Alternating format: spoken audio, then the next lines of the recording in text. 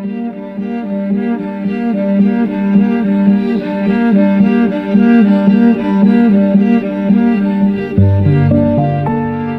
tau reiškia vasario 16? E, Vasario 16 man reiškia laisvę. Ir mielai dalyvavai renginiuose. Taip. O ką tėveliui reiškia vasario 16? Taip pat e, auginti savo atžalą laisvoje Lietuvoje, tai tikrai yra svarbu. Ar didžiuojate savo sunumi, na, kad jis dalyvauja renginiuose, džiaugiasi? Taip, tikrai labai didžiuojasi ir kad jis taip noriai dalyvavo šiame renginyje. Manau, kad čia mūsų yra pagrindinė, kurią mes turim atsiminti visada, neskaitant, aišku, atkūrimo 11 kovo. Tai širdyje tikrai šitą šventę. Ar kiekvienais metais į minėjimą ateinate? Nu, ne visai, ne visai, bet stengiamės kaip įmanoma jau dažniau ateiti. Ir ką jums reiškia?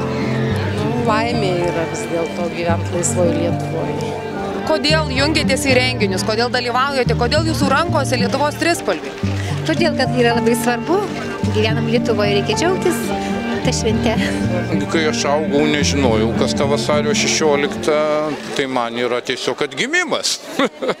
Šventė, istorijos sugrįžimas, daugybė dalykų.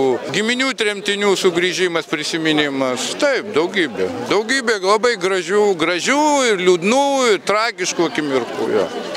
Daug žmonių šiandien susirinko į renginį. Ar širdis dainuoja, kad žmonės vis tik telkėsi? Jo širdis tikrai dainuoja labai gerai, kad žmonės taip, nu, tautinį pradą palaiko, nes kuo toliau to kažkaip tai mus čia stengiasi išgeopolitinti, tai labai gerai, kad palaiko tautinį. Daug ką reiškia, ta prasme, laisvė, laisvė Lietuvai, tikrai labai graži diena, labai, labai smagu. Labai, labai, labai džiaugiuosi, kad atvažiavom, kad e, labai gražiai programa buvo, tikrai labai džiaugiamės. O svarbiausia tai vaikam parodyti. Ta prasme, kad reikia minėti, reikia nepamiršti, reikia džiaugtis tą laisvę ir švesti. Iš tikrųjų galiu pasakyti, man Lietuva ir Alytus reiškia daug. Aš pats esu grįžęs iš, iš užsienio, ten mokinęsis, bet man visada Lietuva buvo Lietuva. Tai man šitos tiek vasario 16, tiek kovo 11 e, yra tikrai svarbios dienos. Iš tikrųjų, šiandien aš supratau, kad tai yra turbūt pats prasmingiausias iš tų ten šešių, septynių renginių, kuriuos darome. Mes darome Lytaus mieste, jau šis buvo šeštą kartą. E, Ir žmonių reakcijos yra labai labai įvairios ir tai yra turbūt, dar kartą sakau, pats prasmingiausias sportinis, emocinis, patriotinis renginys, tiek sveikinimų nuoširdžių, menant mūsų istoriją, puoselėjant nepriklausomybę, įvairių emocijų ir tai yra iš tikrųjų, tu ta, tokiais atvejais supranti, kad, kad tu kažką gerai darai tiesiog. Prieš keletą dienų šitą pačią distanciją išbėgiojom. Žemėlapį davė Alitaus darželių girinukas. Vaikai mūsų tą vėliavą spalvino, tada klijavo ant sienų žodžių, nu taip labai gražiai. Plus bėgo pas save darželėje per šimtą vaikų. Tai visa, visa renginio tokia kaip grandinė, jinai prasidėjo jau nuo vakar. Labai džiugu, kad susirinko labai daug žmonių.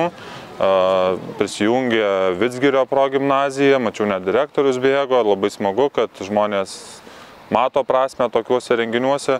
Ir tada buvo didžioji mūsų renginio dalis, trasa tai yra 7 km, truputėlį virš 7.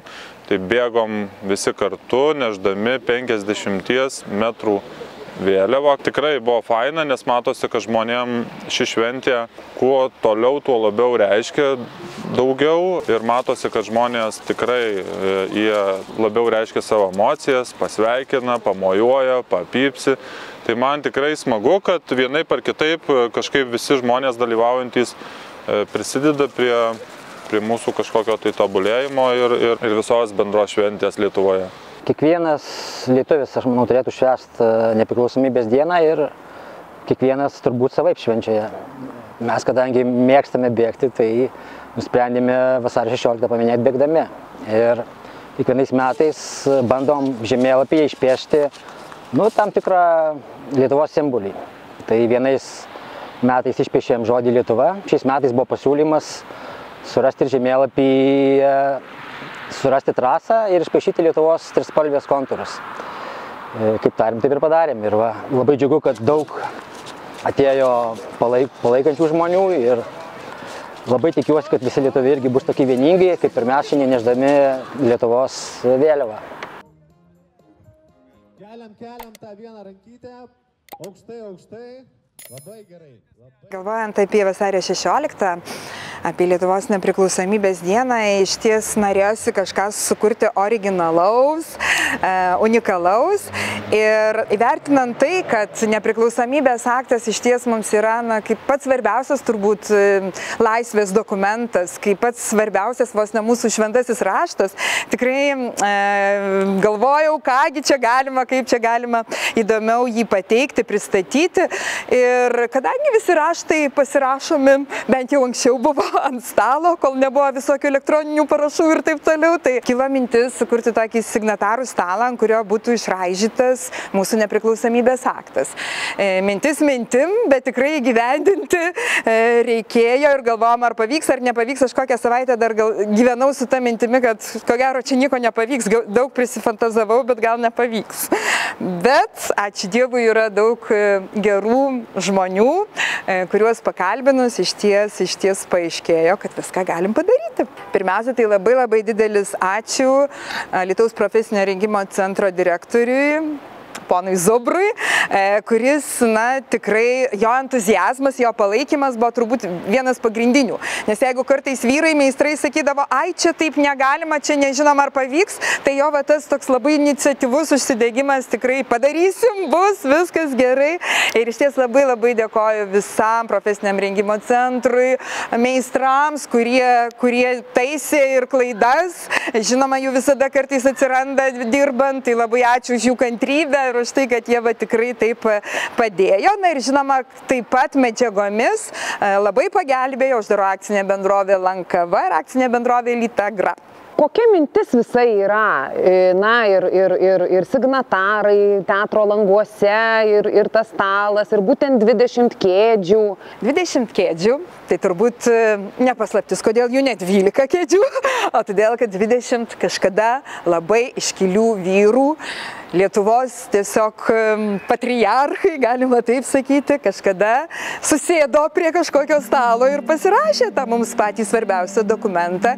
Ir todėl jų visų atvaizdai čia yra e, teatro languose, kurie vakariai ypatingai gražiai šviečia. Ir tai yra na, tam tikra maža istorinė pamoka mūsų jaunimui, mums patiems. Dar vieną kartą priminimas, kad e, turim didžiuoti savo didžiavyriais. Ar pastebite, kad alitiškiai jau prisėda prie šio stalo, ar tai kaip kažkokia jau edukacija vyksta, įdomumas, jaunimas, socialiniuose tinkluose galbūt jau nuotraukos plinta dalies? Taip, tikrai jau socialiniuose tinkluose po truputį tos nuotraukos atsiranda.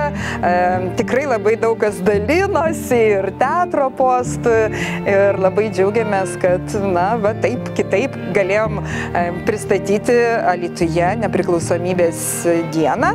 Na, o kovo 11 jau vėl visokių kyla minčių ir yra jau tų minčių, jau bent apie dvi instaliacijas galvojom.